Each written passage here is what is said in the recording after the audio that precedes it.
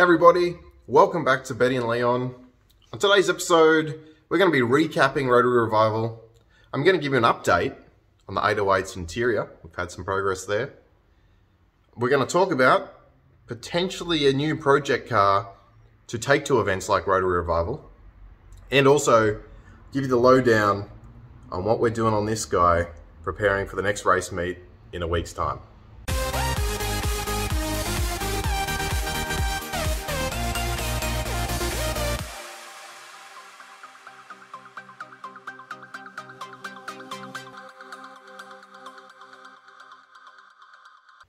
First cab off the rank, Rotary Revival.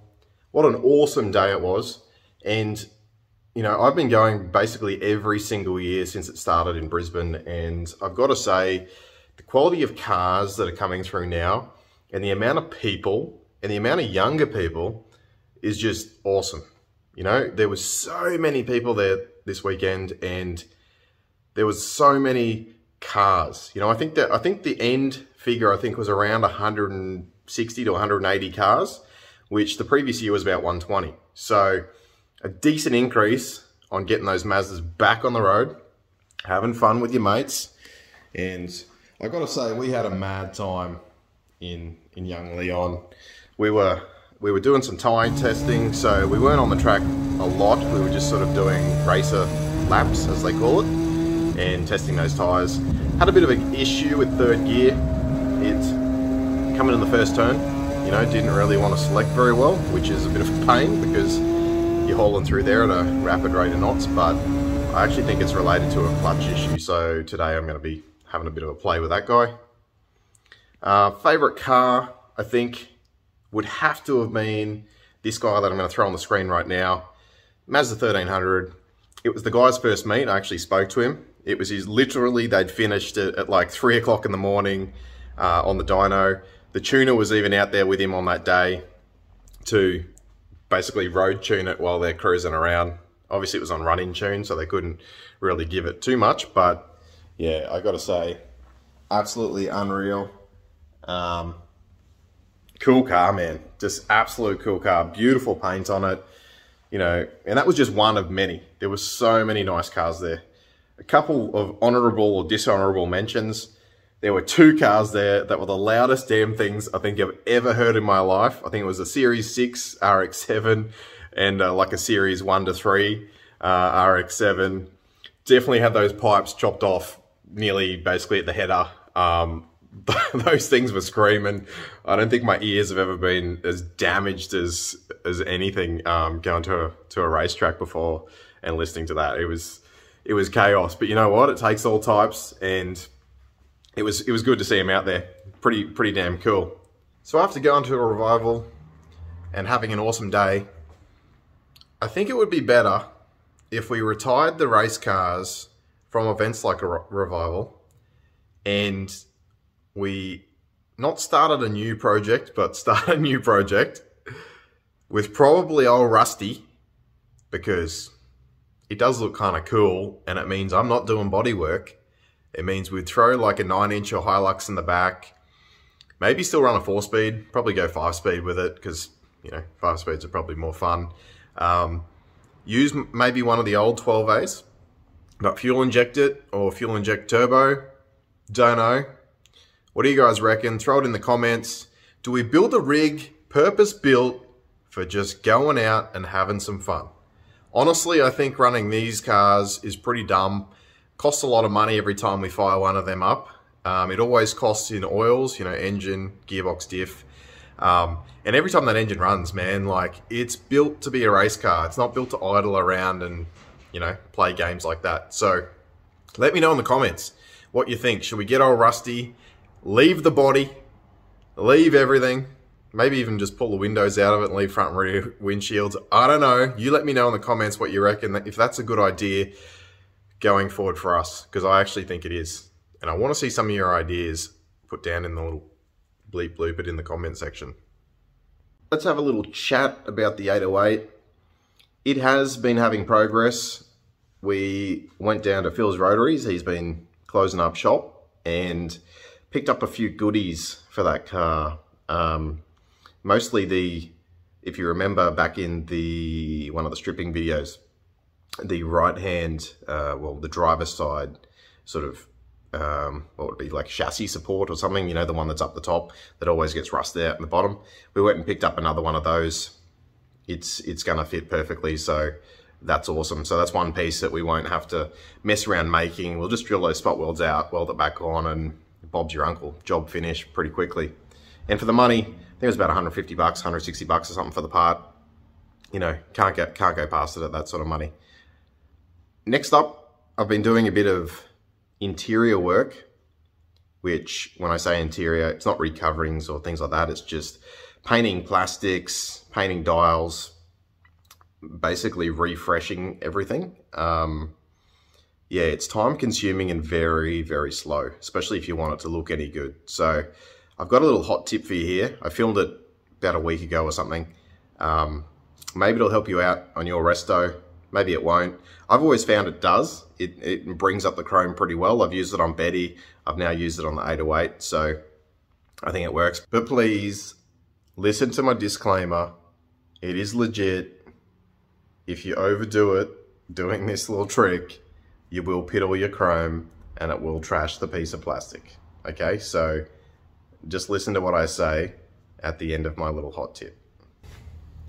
You're probably going to think I'm crazy, but here's a hot tip for getting all this, um, like the green tarnish off the chrome vents. Get yourself some Coca-Cola. have a sip if you feel that way inclined and pour it in. And if you've ever seen what it does to a coin, well, it's basically the same thing. We're just going to make our... Oh, it's actually not going to float. That's great. It's going to make our little vent chrome look awesome. We'll leave that for a couple of days. I generally um, top it up and yeah, just keep it kind of fresh. Probably go through, I don't know, three or four cans I usually do, but we'll leave it there. Let it um, do it work its magic and we'll come back and boom, we are back. Okay, so it's been a day. I've probably changed the Coke three times, I suppose, in that day. Each time I'm checking it to make sure that it's not pitting the chrome because if you leave it in for too long, it will destroy it. That's my disclaimer. Do it at your own risk, but I've had good results. But yeah, don't expect to leave it in there for a week and think it's going to re-chrome itself. It ain't going to happen. So anyway, let's have a look, see what it's done for us. Boom. Not bad. It's actually brought it back pretty well. Like I said, it's not going to re-chrome it. Let's go over here and give it a bit of a bit of a hose. Um, yeah, it won't re-chrome it, but I mean, you know, if it's the difference between it looking a little bit shiny or looking all tarnished, you know, for a couple of cans of Coke or or uh, a 1.25 is pretty much what I used because, you know, I needed to submerge that little beauty. Um, I will just dry this off and then we'll have the reveal of the final product. But yeah, you can see it there. Like, look how much better that looks. I'll do a side by side um, than it was, you know. But you can still see there's pitting on it, like on the back side. But we don't see that. All we see is this bit. And I reckon it looks a million times better. So I'll dry it up and we'll have a look at it dry. Finished product. Check that out. Can actually see myself in the reflection pretty cool. But um, yeah, came up a million dollars. We'll now go and fit this into the latest thing that I've been working on. It's not very exciting. It's interiors in cars, but you know, it's progress. And the 808, even though it's not with me, it needs progress. I've just put that vent back in the instrument cluster. So I'm going to give you a little bit of a little bit of, little inside run on what's happening with the interior. This part's finished, as well as the center console bit, which I'll show you in a second. Um, pretty happy with how it turned out. Let's uh, let's turn him round. Oh, unveil that bad unit. So, sorry about the camera angle. Looking pretty fresh. Those with the good eye would probably um, pick up on a couple of things. May give away the colour of the interior, but we'll we'll see. We'll see with the eagle eyes. Let me know in the comments. So that piece is finished. It can walk with me now. Let's head over to the all-important staging area for the components and um, we'll have a look inside here. Ooh, look at that. That piece is also finished. So, pretty happy with it. Um, progress. Progress on the 808. That's what's been happening is all the interior bits and pieces. And I don't know, man, slow going with this sort of stuff because you're, you're painting things and you're pulling really intricate pieces apart. And that's just how I roll sometimes. I'm going to preface this by saying I love when you guys ask questions. I actually really enjoy answering them. So today's question came from Keith, and thanks for asking. Yes, this little buzzer here is what I would call, and if you know your aircraft, you know, it's like the e- ECAM or the EICAS or the management warning computer. Um, basically, the way Alan sort of rigged this whole car was very risk adverse. And anything and everything will make that little buzzer. And I'll just um, give you, let you know what it sounds like. So it's damn loud. And if you see the lights, so if you see the lights there also that are lit up, when any one of those lights is lit, basically means you've got some sort of issue. And what I mean by issue is you may have zero oil pressure, you may have no fuel flow because obviously the, the pump's not running. Um, if your radiator coolant is low, um, also if you're not charging, like alternate, alternator light too. So yeah, pretty cool. Cool little system, but I mean, in the rewire, the great rewire of 2023, hopefully that's that's coming up. I'm gonna ditch all that stuff.